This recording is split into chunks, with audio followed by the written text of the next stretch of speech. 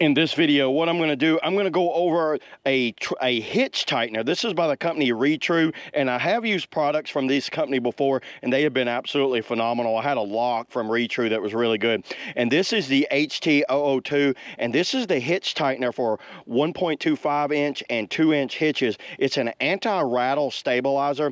I don't know if y'all, anybody knows that has a like a ball hitch on the back of their car or truck. You can hear it rattle when you hit like bumps and stuff, and if you you want to get rid of that rattling, I recommend getting one of these because check this out. I'm going to show y'all exactly how this thing works that you can see right here, you're gonna drop the U-bolt down in front of the hitch right there, and then you tighten it, and you tighten the plate up on the hitch. So pretty simple. You get a little set of instructions right here. You get a company, they have it branded with Retrue. That looks really cool that it's etched in there. You get your, you know, your U-bolt right here, and this is just gonna go down like that and tighten up. So yeah, there's not much to it, but you know what? It looks really simple, but it does a lot. So let me go ahead and put it on my van. I have a van with a trailer hitch on it, and I, I I've been getting this rattling noise coming out of it that gets on my nerves. So let me go ahead and put that on the van. So let's go ahead and okay, do that. You can see right here, the back of my, like where my ball hitch comes out.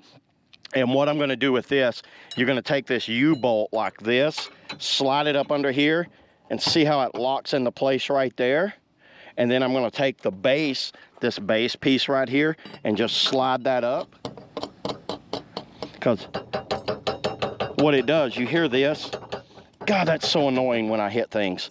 I can hit just little bumps and I'll hear that noise constantly going. And what this is gonna do, this is gonna silence that, in theory anyway. So let's go ahead and put that one on.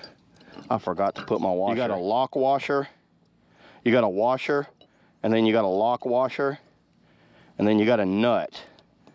And that's gonna be the, the way it's gonna go right there. And I will show you a close-up of this when I start tightening it down.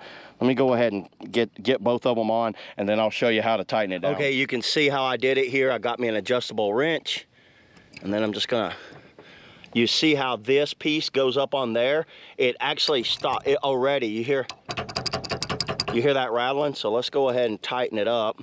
I'm gonna tighten, I'm not gonna tighten one side all the way. I'm gonna tighten a little bit on that side, then go over here and tighten this side and kind of go back and forth. Look at that, everybody. That's, look how quiet, look.